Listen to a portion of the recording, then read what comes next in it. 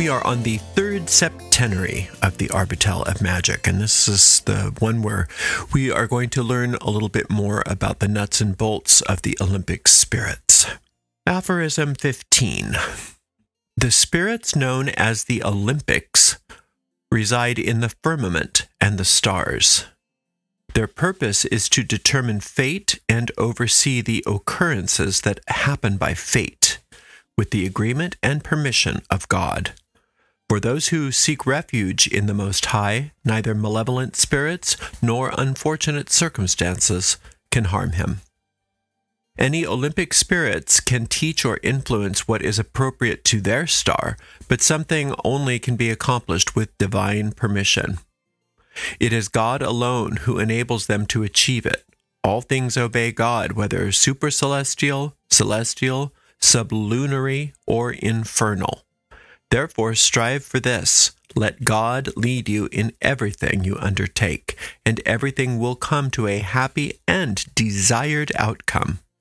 This is evident in the history of the world and daily experience. The pious find peace, but the Lord says there is no peace for the wicked.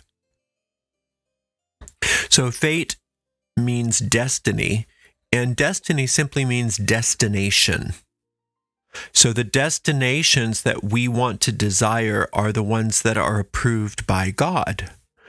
Why? Because God or infinite intelligence wants our happiness and knows how to bring us happy outcomes better than we do.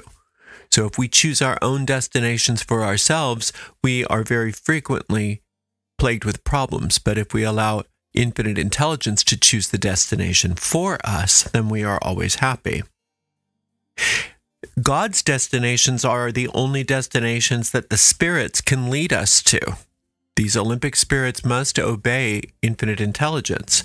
Therefore, if we try to coerce these spirits to do something that is against God's will, we aren't going to have a very good time. So instead of dictating our desired destination to God, we should seek his guidance to determine the destinations that are meant for us. And that doesn't mean that we are going to have to give up our cherished dreams. That means that we're going to be able to embrace our cherished dreams because our cherished dreams are put there by infinite intelligence. Aphorism 16. There are seven governors or offices of the Olympians established by God to administer the entire universe. These governors, as mentioned in Olympic speech, are Aratron, Bethor, Phaleg, Och, Hagith, Ophiel, and Phul. Each of them commands a significant heavenly militia. Aratron, for example, controls 49 visible provinces. There are 196 Olympic provinces in the universe, each governed by seven governors. This is all elaborately explained in the book Astronomy of Grace. However, in this context, we aim to demonstrate how these princes and powers can be engaged in conversation. So, the book mentioned is probably one of those lost books thought to have been written by Paracelsus. There is no trace of it anywhere. So, we just told you that Aratron controls 49 visible provinces. Bethor governs 42. Phaleg oversees 35. Och manages 28. Hagith is responsible for 21. Ophiel oversees 14. And Phul manages 7. Aratron manifests on the Sabbath day, which is Saturday, during the first hour of that day. He provides accurate answers regarding his dominions and inhabitants. Similarly, the other spirits adhere to their assigned days and hours. Each one of these spirits governs for a period of 490 years. The first cycle began 60 years before Christ's birth under the prince Bethor's administration. This period, it lasted until the year 430. Phaleg succeeded him until the year 920, followed by Och until 1410, Finally, Hagith reigned until 1900. So Ophiel is the governor of our current era until the year 2390. Aphorism 17. The seven governing princes can only be summoned through the practice of magic. They appear visibly or invisibly during the specific time, day, and hour they preside. This is made possible by using the names and offices assigned to them by God and by displaying their confirmed sigils, also called characters in this booklet, or the ones they have provided. Aratron the governor possesses the innate ability to control things natural to him, aligning with the astronomical attributes assigned to the power of Saturn.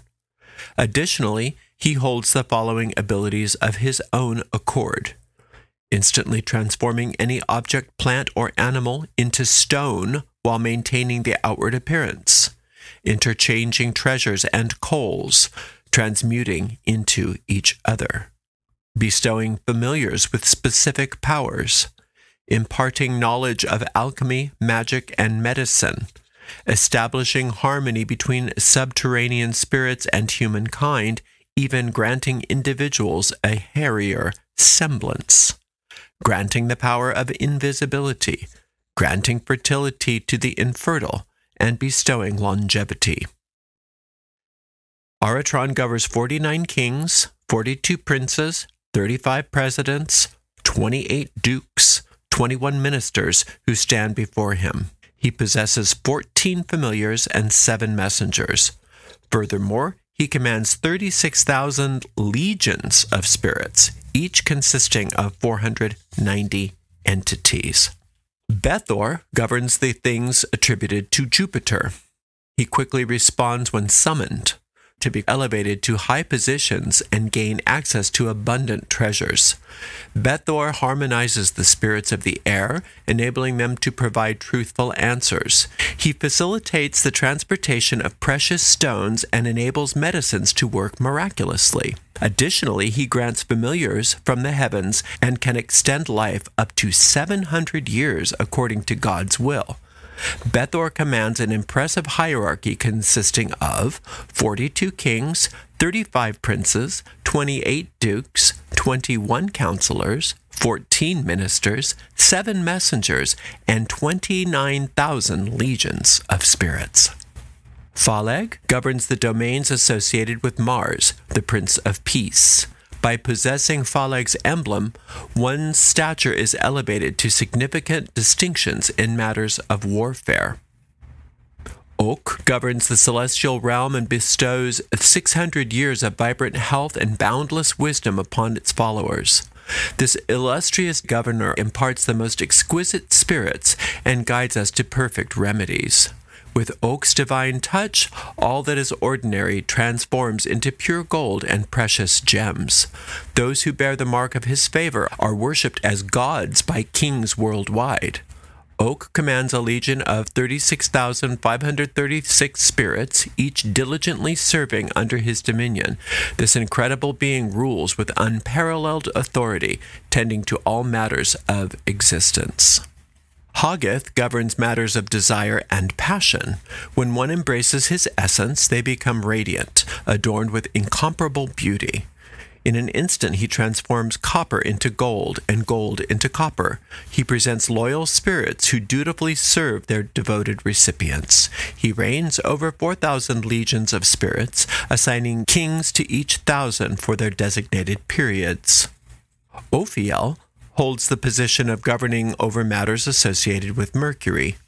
He commands an impressive legion of 100,000 spirits, readily granting familiar spirits to those who seek him. He possesses vast knowledge and is capable of teaching all arts. Furthermore, those privileged enough to bear his mark will gain the extraordinary ability to transmit quicksilver into the revered philosopher's stone instantly.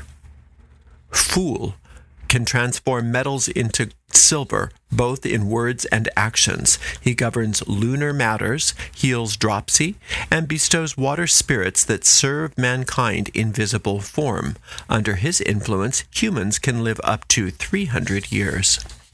The following are the fundamental principles of this secret knowledge. Every governor, which are the Olympic spirits, so each of those seven Olympic spirits are called governors. Every governor operates using their spirits either naturally in a consistent manner or freely as long as God doesn't intervene. Every governor can perform tasks that occur naturally over an extended period using prepared materials or achieve them instantly using unprepared ones. For example, Och, the prince of solar matters, can create gold through natural processes, alchemical techniques, or by magical means. So sometimes your help will seem like it would have just happened anyway, but other times it seems miraculous and comes out of nowhere. One type of manifestation is not more potent than the other, however. So you don't necessarily need to ask for a miraculous manifestation. You allow those manifestations to happen as the spirits do them because they are following infinite intelligence's will. The true and divine Magus can command all creatures of God and enlist the services of the world's governors. These governors obediently respond and carry orders, but only with God's authority, just as Joshua commanded the sun to stand still. Joshua also works potent weather magic in that same scene in the Bible.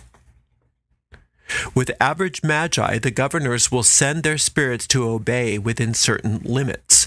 However, false magi will not be heard and be exposed to the mocking demons and various dangers, as witnessed in Jeremiah chapter 8. So that means depending on the character of the person performing the magic, one will either have exemplary results, limited results, or disastrous results with their magic. And that all depends on you and how you're approaching it. You want to be an exemplary magus, not an evil one or an average one. And how you do that is by following the guidelines as set forth in these aphorisms from the very first lesson. The seven governors and their hosts exist within all the elements, moving harmoniously with the motion of the celestial spheres. The lower elements always depend on the higher elements, as philosophy teaches. And at the end of this lesson, I will give a little bit more of an extended understanding of what they are alluding to there. True magicians are born with innate ability, while those who enter the field voluntarily are unfortunate. John the Baptist refers to this when he says, No man can do anything of himself except it be given him from above. Regardless of the purpose, every character or sigil a spirit provides possesses its efficacy within the designated time. However, it must be utilized on the same day and planetary hour it is given. God and your soul are alive uphold your covenant, and through the revelations the Spirit grants, you shall obtain everything, for all the Spirit promises will be accomplished. Basically, they're saying here, do your part, and God will never fail to do God's part through those spirits. Aphorism 18 other names are given to the Olympic spirits by others, but only the ones revealed by the spirit, whether visible or invisible, are effective. These names are predestined for each individual and are referred to as constellations. They usually have an effect for around 40 years, hence, it is safe for the young art practitioners to work solely with the spirits without using their names. If they are destined to attain the art of magic, the other aspects of the art will naturally present themselves. Therefore, pray for steadfast faith. In due time, God will bring about all things. So, they are alluding to the fact that the spirits of the Olympics also, in addition to the names provided in the text, have unique names, which really are best revealed directly by the Spirit to the magician. And that doesn't usually happen right at first, that takes time working with them. However, the names given in the text for the Olympics are always helpful. So you can just use those names for now. You will also over time, and it's saying over a long period of time, you will probably be given your own names to be working with those spirits that nobody else can use but you. And that will take time for those to manifest. Aphorism 19 The inhabitants of Olympus willingly appear as spirits to people, offering their services. However, be aware that evil and destructive forces may also approach, driven by the envy of the devil and attracted to the sins of wrongdoers. To establish a friendly relationship with the spirits, one must avoid serious sins, seek protection from the highest power, and thus avoid the traps and obstacles set by the devil. In fact, God can even bind the devil himself into service for such a magician. So, all we have to do, it's saying here, to avoid the traps that our own ego sets for us to fail, is to desire to avoid falling into error, asking constantly for help and guidance from on high. And that spirits can even use our mistakes, quote, sins, to help us. Everything is under God's will. So, as long as you are working first with infinite intelligence and constantly asking for guidance rather than making up your own mind all by yourself, you are destined to succeed. Also, another note about magicians are born not made. This is alluding to the fact that you wouldn't even be interested in this course if you weren't born a magician. So you don't have to worry about that. You're in the right place doing the right thing if this is something that you are innately drawn to. Aphorism 20. All things are possible to those who believe and are open to receiving them. However, to the skeptical and unwilling, everything appears impossible. There is no more significant hindrance than a wavering mind, fickleness, inconsistency, foolishness, excessive talking, intoxication, lust, and disobedience to God's word. Therefore, magicians should be pious and upright, true to their words and actions, have unwavering faith in God, and desire wisdom in divine matters. So, first and foremost, we must seek infinite intelligence. If we do and follow how we are directed to proceed, we will never fall in to any of the distractions that are listed in this aphorism. And don't take this as sort of like a Catholic guilt lesson. It's just you don't want to be distracted from your work, from your magic, from your path. And those distractions, as they are listed in the aphorism, are just ways that your ego wants to delay your progress. And you're not going to do that. You're not going to allow yourself to do that because you're going to remember to follow the path as set forth in these aphorisms. Aphorism 21 Calling the Olympic Spirits.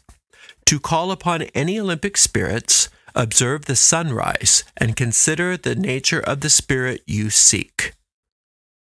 Say the following prayer, and your desires shall be fulfilled. So, you also want to have that sigil or character drawn and ready to go when you're doing this.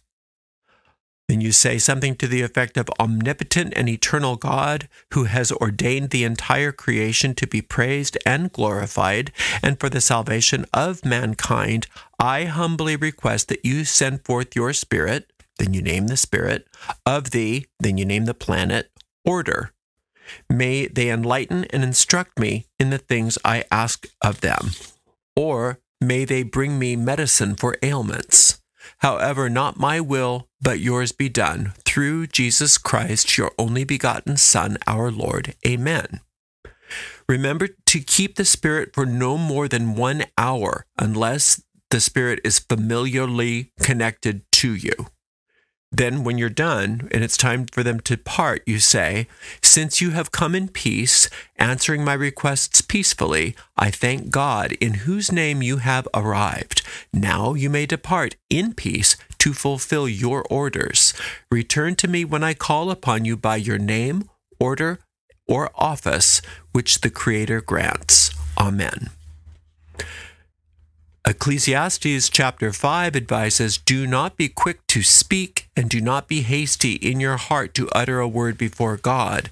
After all, God is in heaven, and you are on earth. So let your words be few. As a dream comes through many cares, so the speech of a fool comes with many words. So it's talking about vain babbling in prayer or in magic is not productive, and neither is too much busy work. So earlier it was talking about all of the different legions and this and that. This is the a, a, Renaissance magical concept known as the Great Chain of Being, and it suggests that everything in the universe is interconnected. forming a complex hierarchy from the creator at the top to inert matter at the bottom. This worldview was inherited from ancient occult schools, and it categorizes each species or object as a separate link in the chain. Higher links possess greater intelligence, mobility, and ability than those lower down. The higher links exercise authority and responsibility over the lower ones. For example, plants have authority over minerals, drawing sustenance from them, while animals have authority over plants and minerals. Humans, in turn, dominate the natural world and have authority over plants, animals, and minerals. The position of each species on the great chain depends on the balance between spirit and matter within its composition. The more spirit and less heavy matter, the higher its position. Even within each category, some beings or objects are higher or lower than others.